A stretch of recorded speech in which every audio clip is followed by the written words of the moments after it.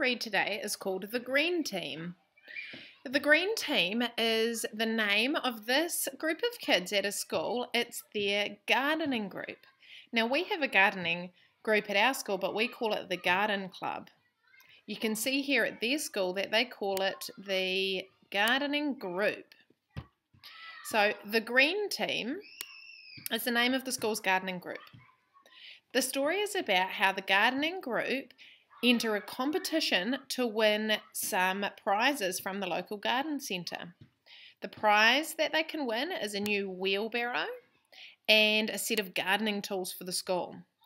So the competition is that they have to grow vegetables in their school garden and make a special lunch for the owners of the local garden centre.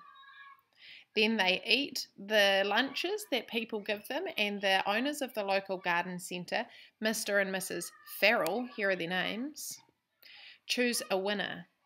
So the teacher, Mr. Wertony, says if we want to win, Mr. and Mrs. Farrell have to think our kai is the best.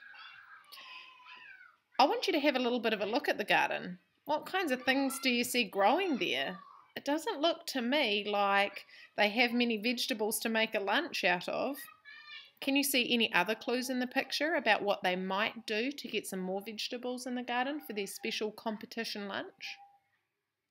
We're going to have a little bit of a talk about the pictures and what you see happening when you come down as a group. What do you think they're going to do and how do you think they're going to win the competition?